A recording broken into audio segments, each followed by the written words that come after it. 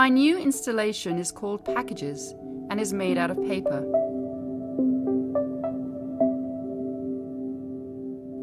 The inspiration for the work came after the sudden loss of my mother, who died of heart failure in 2005.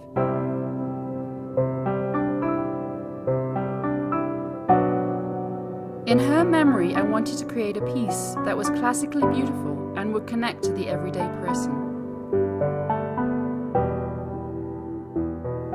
To engage the child as well as the connoisseur.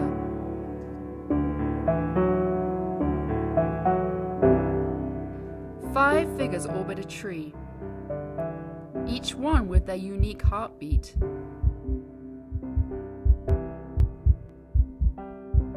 These figures represent our individuality and sometimes isolation.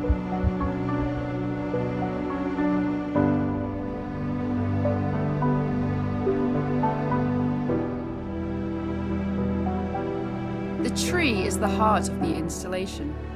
In every knot and hollow is a point of reflection. Within it, you can hear the heartbeats of the individuals which represents, for me, our collective consciousness.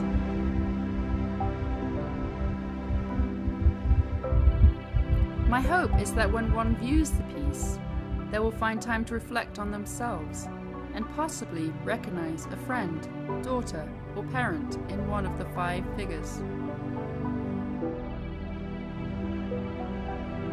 The idea for this is a simple one that we all exist within our own package and can only know someone through their appearance and what they choose to present to the world.